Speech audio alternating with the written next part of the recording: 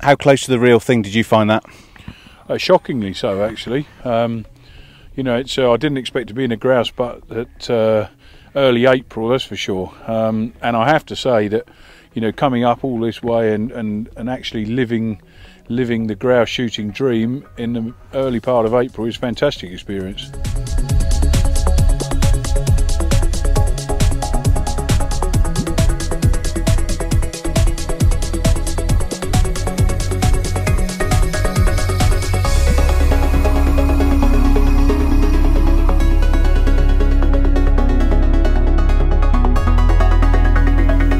Um, you can shoot it single gun, double gun.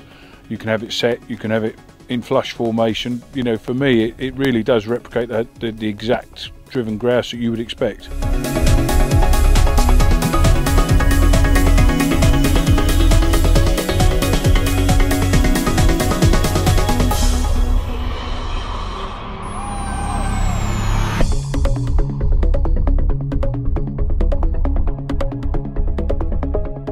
Whether you, whether you shoot it you know on a grouse moor or whether you shoot it as a downland partridge drive in the in the home counties you know the, the machine will do everything you want it to do in a way that you want it to do. And it's an ideal training mechanism for you know whether whether it's an instructional purpose for a school or whether it's an individual